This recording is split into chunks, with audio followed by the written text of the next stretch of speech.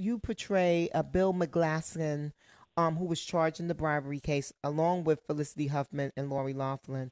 Um, and this, you actually said that you've known Felicity Huffman for a very long time. Did you have any hesitation about taking on this role because you are in Hollywood?